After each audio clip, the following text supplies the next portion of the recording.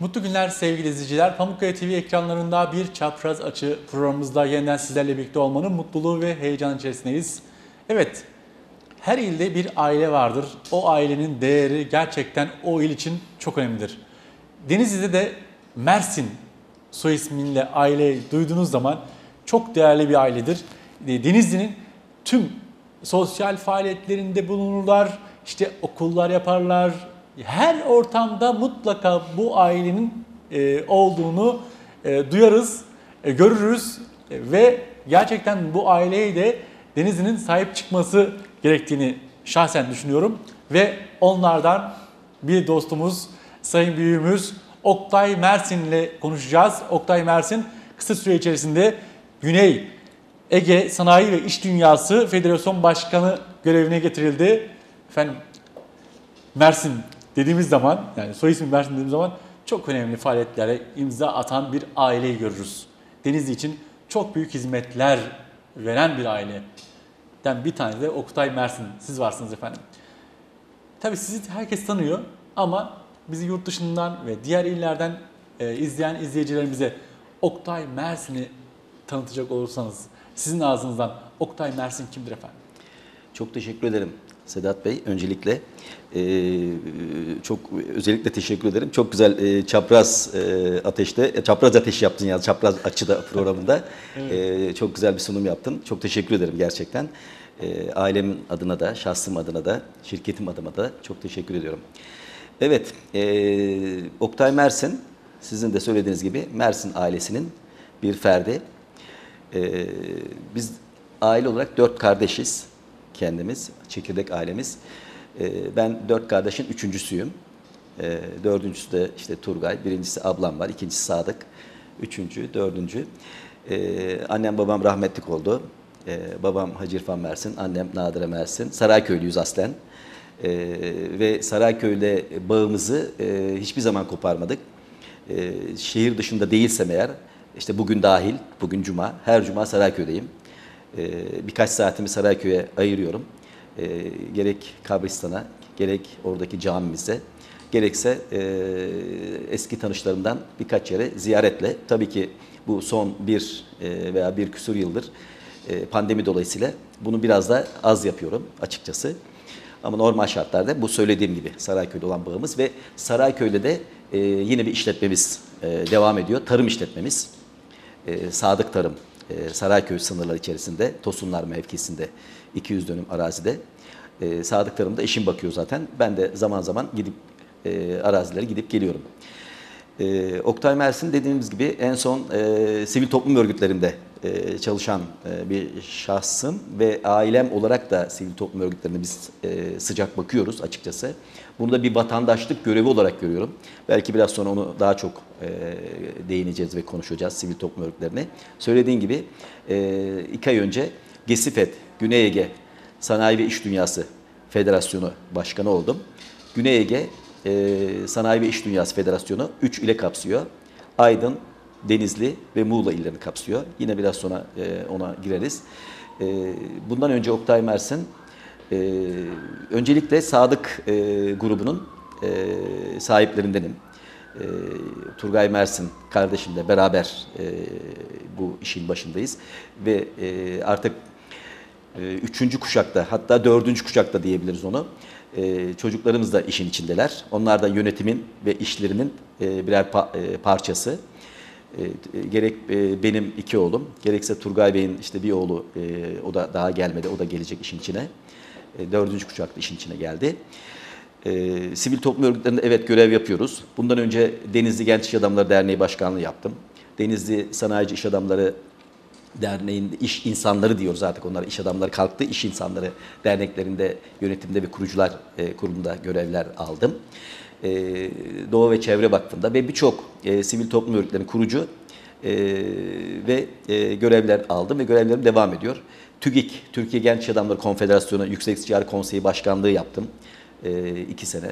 İki sene genel başkan vekilliği yaptım. Dolayısıyla bu anlamda Türkiye'de dolaştık. Şimdi bölgesel bir federasyonun başkanıyım. Türkonfed'e bağlıyız. E, Türkiye e, İş, İş İnsanları Konfederasyonu Türk Konfet.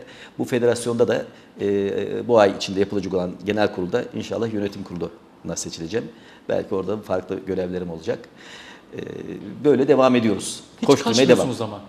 Hiç kaçmıyorsunuz. Yani Evet. verilen görevde e, bazı kesimdeki bazı dostlar e, uzak durmaya çalışır ama siz bu tür sosyal faaliyatta hiç kaçmıyorsunuz. Ne zaman görsem bir Mersin soy isimli ailenin bir yerde var olduğunu görüyoruz efendim. Bu neden çok sevdiğiniz belli. Evet. E, hizmeti çok seviyorsunuz ama. Evet. Yani bir kere öncelikle e, sevmek lazım. Bu bir gönül işi. Yani onun altını çizmek lazım. Bu bir gönül işi. Eğer konuşacak veya bu konuyu STK'yı konuşacak olursak, e, biraz da açacak olursak, işte biraz önce söyledim ya, bunu bir vatandaşlık görevi olarak görüyorum bir kere. Bu işin içinde olanlar bunu böyle görüyorlar. E, evet bazıları kaçıyor. Hatta bazıları yani e, belki burada e, tabiri caizse e, söylemek doğru mu değil mi?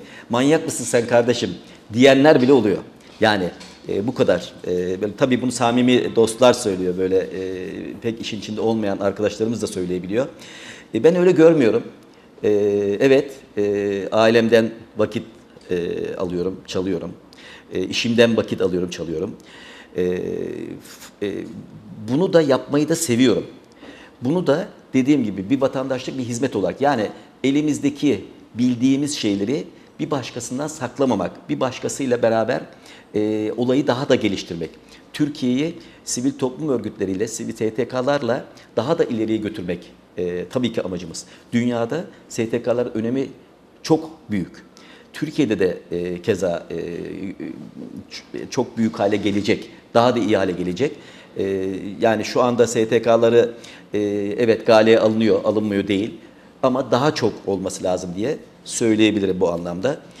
E, yani bunu e, devamlı yapmakta fayda görüyorum ben. Bu bir gönül işi. Gönül işi, Yani evet. gönül işi olmadan bu hizmetler olmaz diyorsunuz. Evet. Tabii STK'yı biraz konuşacağız ama e, iş dünyasındasınız efendim. İş dünyasınızda da e, Denizli'de köklü aileden birisiniz.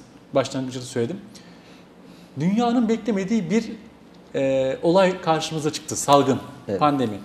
E, pandemiyi nasıl değerlendirirsiniz? Hem bir iş adamı hem de şimdi iş dünyasında önemli bir yerde hem başkanlık yapacaksınız hem de yönetim kuruluna seçileceksiniz.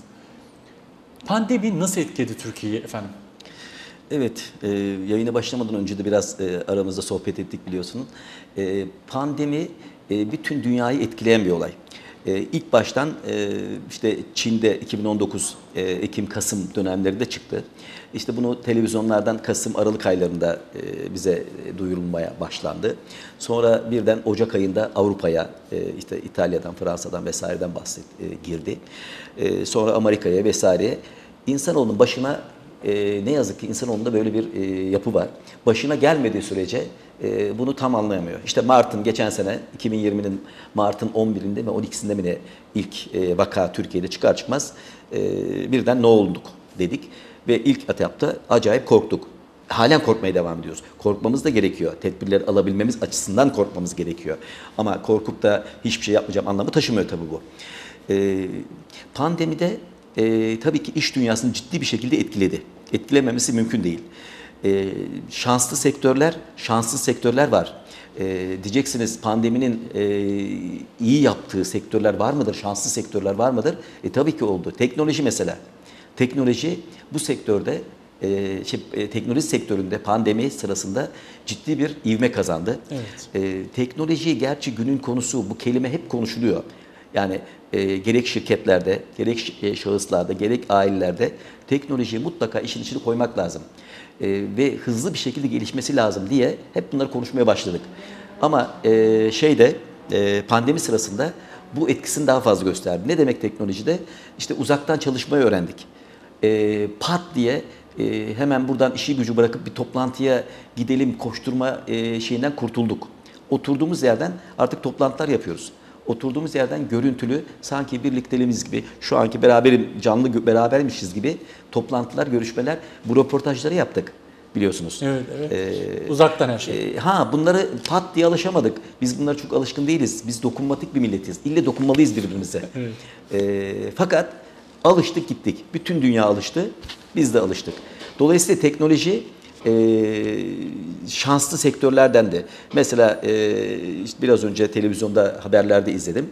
E, ismini e, söylemekte bence şey yok çünkü tüm haberler çıkıyor. Getir e, dediğimiz e, bu tür hizmetlerde e, pandemi sırasında son bir yıl içerisinde e, 10 kat neredeyse e, değeri arttı bu şirketin ve buna benzer şirketler artıyor. Biz de son dönemlerde işte bu anlamda teknoloji şirketlerine yöneldik. Yatırımlar vesaireler yapıyoruz. Yeni bir e, teknoloji şirketi kurduk.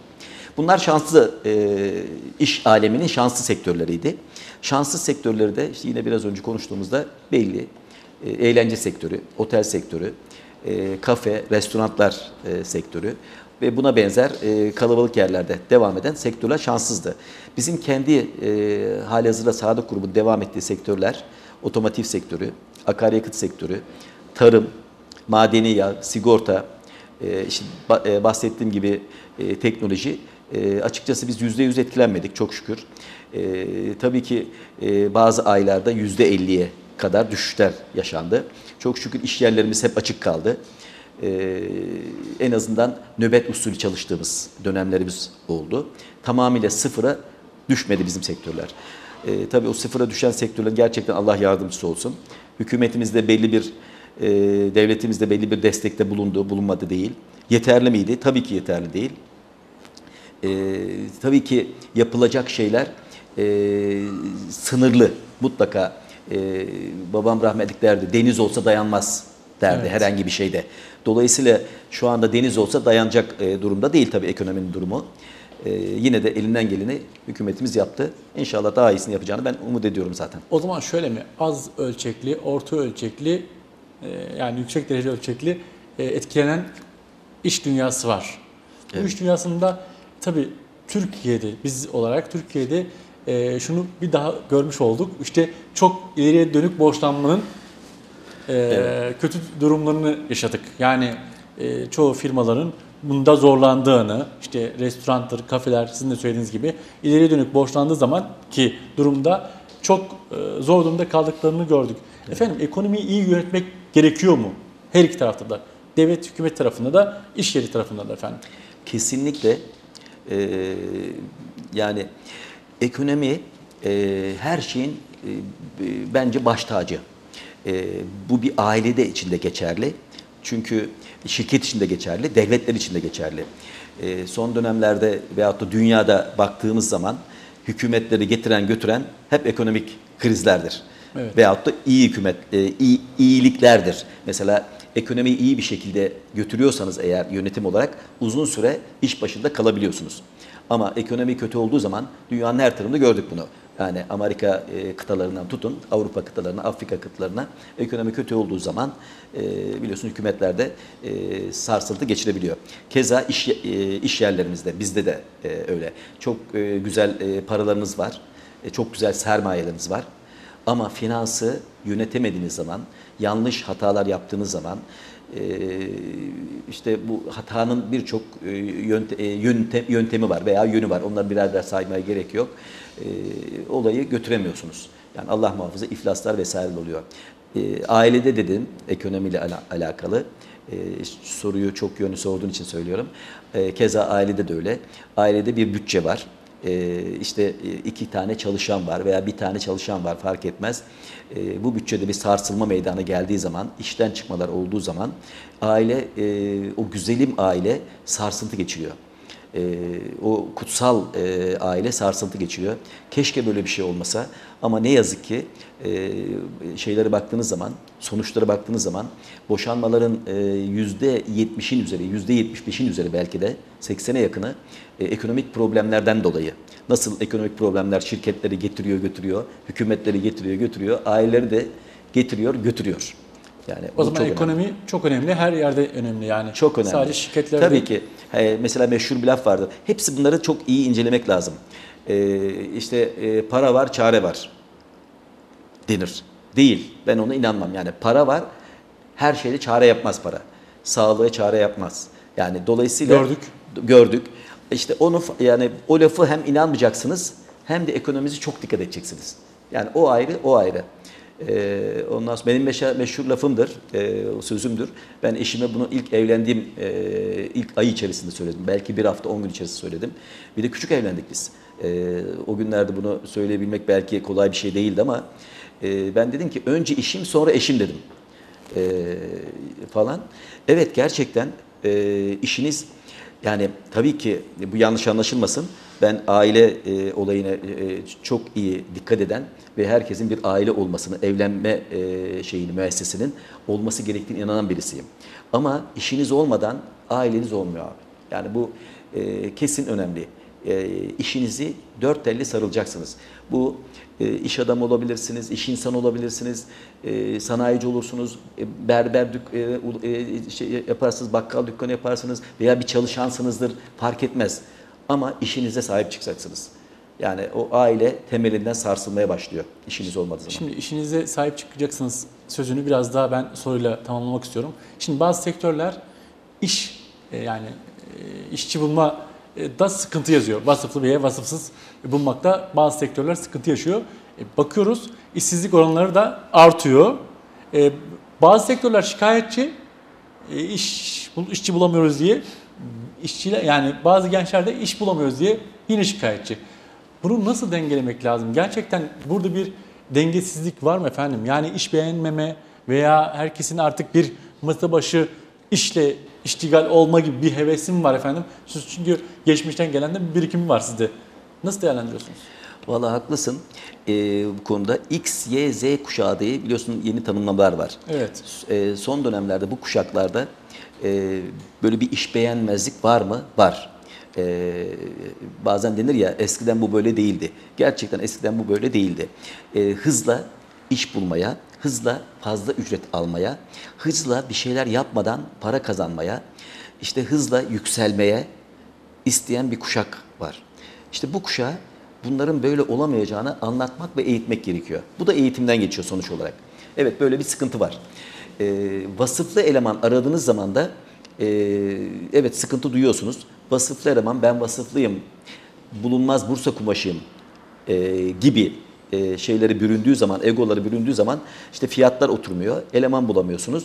E, orada bir sıkıntı var. E, bir de ben e, bunu üniversitelerde e, gençlerle konuştuğum zaman, konferanslarda vesaire veya buradaki insan kaynağı konuştuğum zaman hep söylerim. E, mesela şirketler e, mesela gençlerin en büyük sıkıntısı şu oluyor. Biz okuldan mezun oluyoruz. 4 yıl, 5 yıl dirsek çürütüyoruz. E, iş başvurusu yaptığımız zaman e, bize e, tecrübeli değilsin diye işe almıyorlar diye bir kaygıları olur devamlı. E, evet, e, mesela biz tecrübeli eleman arayacağımız zaman tabii ki e, bir başka bir yerde çalışmış, tecrübesi ve referans olan birisini almaya çalışıyoruz. E, ama tecrübeli eleman arayacağımız zaman. e, Her zaman da tecrübeli eleman aramıyoruz tabii ki. E, normal yetiştirecek e, arkadaşlar da alıyoruz. Burada da şunu ter- e, tercih ediyoruz yalnız. Orada da şunu tercih ediyoruz. E, sanki böyle tecrübesi var gibi. Nedir bu tecrübesi olmak? Üniversite sırasında o 15 tatiller deriz ya Şubat tatili şimdi bir Evet. ay civarında oluyor işte üniversitelerde veyahut da normal liselerde. Yaz tatilleri deriz ya. E, buralarda çalışmış insan tiplemelerini, insan ilişkilerini görmüş, çalışmış insanlar arıyoruz biz. E, siz burada çalıştınız mı diyoruz. Ne yaptın yaz tatilinde? Gittim deniz kenarındaki yazdığımda oturdum diyor. Gezdim diyor. Gezdim dolaştım diyor. Para yedim. E, ye bunları, bunları yapacaksın tabii. Ama orada hepsini yapmayacaksın. 3 ay gezmeyeceksin. İşte bu, bu sefer tecrübe yok diye biz onları tecrübesiz, iyice tecrübesiz sınıfına koyuyoruz açıkçası. Ee, orada mesela biz e, bunları tercih etmemeye çalışıyoruz. Sonra üniversitelerde veya e, liselerde eskiden kollar vardı. E, müzik kolu, müsamere kolu, beden eğitimi Trafik kolu, kolu. trafik kolu, spor kolu diye. Evet. İşte üniversitelerde şimdi onların artık kulüpleri diyorlar. Çeşitli kulüpler var. Müzik kulübü, trafik kulübü veyahut da işletme kulübü. Ee, buralarda çalışmış, e, de hem dersinde başarılı olmuş hem oralarda çalışmış kişileri tercih ediyoruz. Mesela bizim Pamukkale Üniversitesi'de e, özel bir e, işbirliğimiz var. İşletme kulübüyle. O işletme kulübünün kuruluş aşamalarında çalıştık e, maddi ve manevi işbirliği yapıyoruz. E, çok önemli Türkiye'deki e, bir numaralı dediğimiz kişileri konuşmacı olarak getiriyoruz. Kendim de orada e, birkaç e, konferansta konuşmacı olarak e, kaldım, oldum. Bu işbirlikleri çok önemli. Yani Gençleri- çalışmak önemli. Gençleri sahiplenmek önemli. Sahiplenmek çok Yani önemli. Sadece işte Ve bunları anlatmak gerekiyor hep. çok da güzel. Demek ki asıl vurgu bazı noktaları yakalayabilmek. Mesela siz yakalamışsınız. İşte 3 aylık yaz döneminde ne yaptın? Ben gittim yazdığımda denize çık girdim. Denizden yazlığıma değil o Evet. 3 aylığın bir buçuk Belli bir kısmını ayı bir kısmını çalıştım. çalıştınız mı? Evet. Tabii e, gün geçtikçe e, hızlı para kazanma imkanları sağlayan e, durumlar da var. E, vatandaşlar da çok çabuk aldanıyor. Bunu da sormak istiyorum. Çünkü iş dünyasında gerçekten çok önemli birisiniz. Burada sizi izleyen izleyicilerimizin de bunları dikkat etmesi gerekiyor. Mesela e, hayal ürünü bir parayla aldı gitti. İnsanların veya garibanların yatırmış olduğu paraları. Bitcoin. Evet. Bunu nasıl değerlendiriyorsunuz efendim? Gerçekten hayallerle e, uğraşmaktansa gerçekleri yapmak daha doğru değil mi? Ee, şimdi bu coin dünyası ayrı bir tabii. O ayrı bir e, oturup e, saatlerce konuşulabileceğimiz bir şey. E, böyle bir gerçek var. Yok değil. Yani e, ve bunu bazı devletler destekliyor ve e, yasalarında yeri var. Onu belli bir mevzuata, yasada işte vergisel anlamda, her anlamda değerlendirmiş. Ama evet havada bir e, bir e, para, e, havada bir dünya. E, işte bunun e, belli bir marka, Bitcoin markası çıktı. Ardından da birçok marka Evet. çıktı. İşte onları iyi ayırt edebilmek. İşte o çıkan markalar e, işte vurup çarpmak için olan işte son dönemlerde yaşadığımız 2-3 tane olay buna benzer olay. Tabii ki bunlara çok dikkat etmek lazım. İşte biraz önce senin de sizin de söylediğiniz gibi e, benim de gençlerin o X, Y, Z kuşaklarının birden yukarı çıkmak e, gibi düşüncelerinden dolayı buraları dalıyorlar. Aslında evet e, çok iyi etüt etmek lazım. Şimdi mesela bunu karıştırmamak lazım bazı şeylerle. E, şimdi girişim sermayesi diye sermayeler var. Fon, yatırım e, dünyaları var. Teknoloji, girişim yapmak vesaireler var. Buralara yatırımlar yapıyorsunuz. Buralara yatırımcı olarak girebiliyorsunuz. Kendiniz girişimler yapabiliyorsunuz. Bu ayrı bir şey. Ben gençlerin bu tür olayları destekliyorum. Girişimler yapmasını, teknoloji şirketleri kurmasını, e, işte bir fikrim var deyip yat, e, bunu e, melek yatırımcılar yani bizler gibi yatırımcıları götürüp e, bu fikirlerini açıklıyorlar E, ve ola- melek yatırımcı olanlar da bunları destekliyor. Evet. Bu ayrı bir olay. Bu yani hayal ürünü değil. E, yani işin bu yönünde yürümekte fayda var. Buralarda belki 3 misli, 5 misli, 10 misli para kazanma şansınız var. Ha kaybetme şansınız da var mı? Var ayrı konu. E, ama işinizi e, her alanda öyle. İşinizi dört dörtlük yaparsanız parayı kaybetmiyorsunuz. Ama gerçeklik olan var sizin o Evet, şeyde. orada Gerçek orada iş var. yapıyorsunuz. Yani biz çok çabuk hayal ürünüyle Evet. zengin olmayı seven bir Biliyorum. toplum haline geldik. Geliyorsunuz doğru. Ee, Geliniyor yani. Peki efendim şimdi tabii eğitimle de çok ilgilisiniz. Ee, Türkiye'deki eğitimi soracağım size. Nasıl buluyorsunuz eğitimi? Yani üniversitelerde her geçen gün işte e, bana durmadan mesaj atıyorlar. Bugün yine bir hukuk fakültesi daha açıldı veya şurası daha açıldı. Bunu nasıl değerlendiriyorsunuz? Gerçekten bu kadar fakültenin, bu kadar üniversitenin açılması doğru mu sizce de? Valla e, işte bunları ayrı ayrı etüt etmek lazım dediğiniz gibi. Doğru olan yerleri de var. Tabii ki siyasi e, alınan, coğrafi anlamda çok uyuşmayan, e, mesela atıyorum hiç ziraatla alakası olmayan bir ilde ziraat fakültesi açılıyor. Misal örnek veriyorum.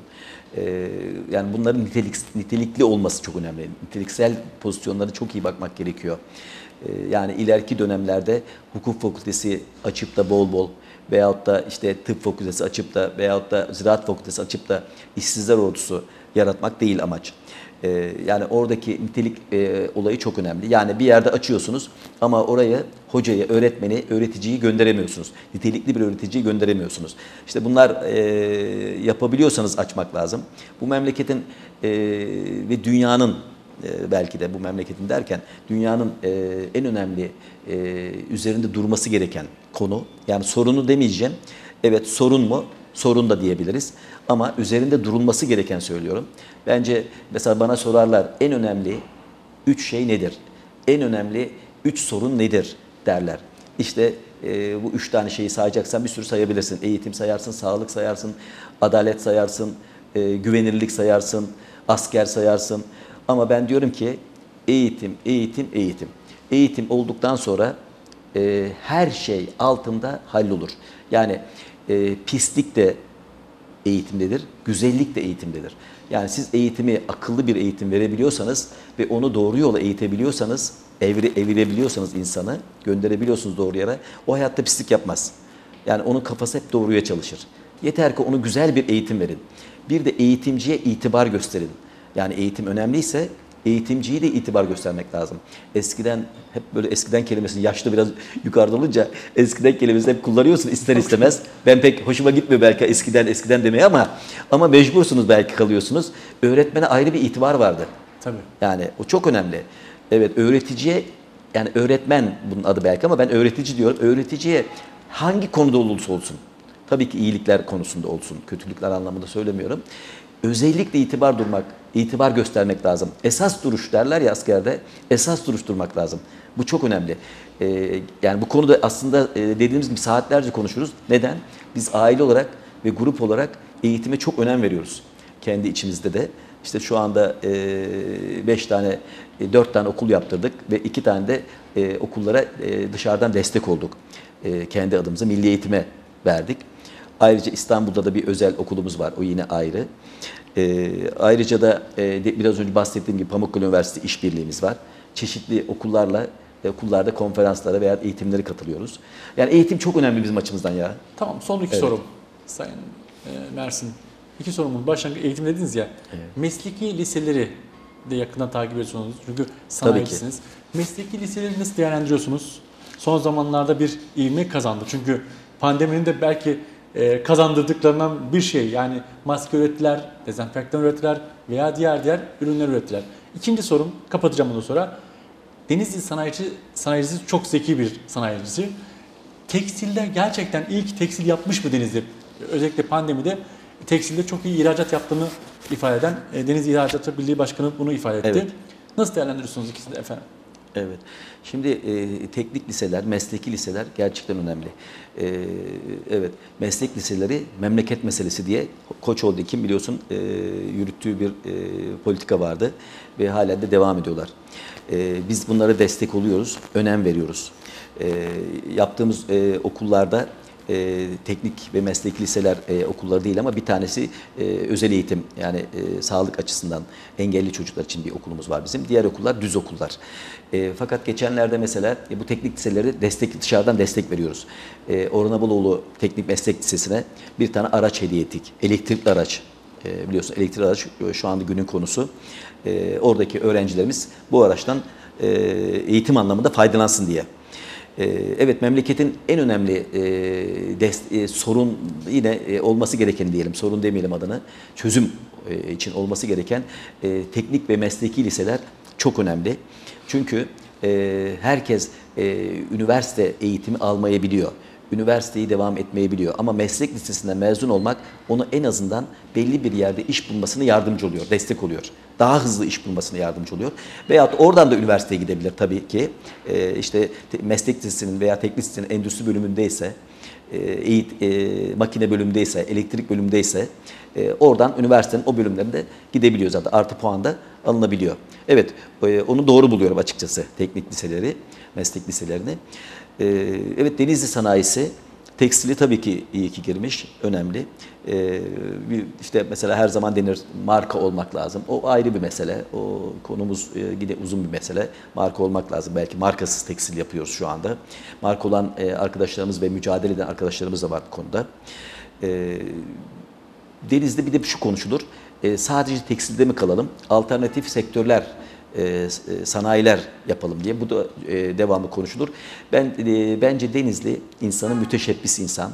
E, Denizli insanı iş yapan insan. Yani yatan insan değil. Biz her yerde iş konuşuruz. E, yani bir restoranda, bir ev gezmesinde, bir sohbette, e, iki arkadaş, üç arkadaş, beş arkadaş bir yere yani e, bir seyahatte bile olsa, e, turizm seyahatinde bile olsa, turistik seyahatte bile olsa iş konuşuruz ve konuştuğumuz o işin iş askıda kalmaz. Mutlaka sonucu ulaşsın diye uğraşırız deniz insan olarak. E, ve Denizli de bu yönden zaten ayrışmıştır. Ondan dolayı ihracatçı bir memlekettedir. Ondan dolayı sanayisiyle, iş dünyasıyla ilk 10 arasındadır Denizli insanı. E, diğer türlü e, niye ilk 10'da olsun? İlk 50'de zor olur. Evet. E, dolayısıyla ihracatımız da çok iyi. İyi ki tekstil yapmışız diyorum. E, iyi ki mermerimiz var, iyi ki e, elektronik bakır işlerimiz var. E, ve bu anlamda da pandemi sırasında da biz rekorlar kırdık. E, yukarılara doğru taşınıyoruz. E, bizi bu ivme kazandırıyor. E, bu anlamda da e, Denizli sanayisi de e, her anlamda ilerleyeceğini düşünüyorum. Ben de iyi ki Deniz'de Mersin ailesi var diyorum. Çok teşekkür ederim. Gerçekten eğitimde, her türlü faaliyette Mersin ailesini görmek bir güçsünüz aslında. Yani olmanız bile, varlığınız bile işte işletme kulübü üniversitedeki orada olmanız bile oradaki gençler için bir güçtür. Bir özveri, bir özgüven getirisidir.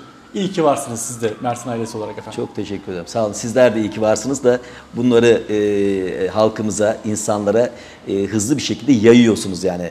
E, bunlar da olmasa zaten nasıl yayacaksınız ki? Kendiniz ne kadar mücadele etseniz belli bir yere kadar gidersiniz.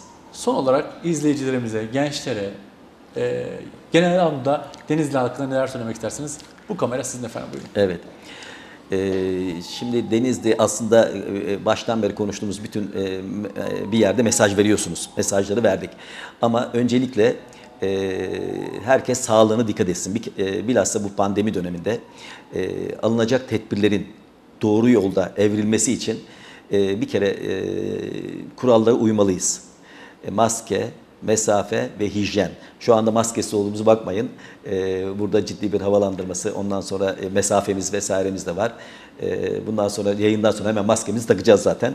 Ee, bu kurallara uymasını, sağlık çok önemli. Sağlık gerçekten her şeyin başında. Ardından başarı için çok çalışmak gerekiyor. Gençlere buradan e, söylüyorum. Aslında herkese söylüyorum.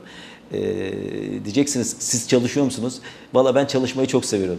24 saat e, çalış çalıştım deseler e, sağlığım el verse tabii ki 24 saat uyumadan çalışırız. E, ve ça- gerçekten çalışmak çok önemli.